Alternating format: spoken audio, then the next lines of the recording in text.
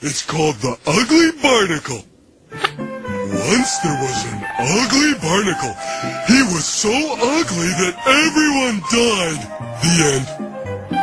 That didn't help at all.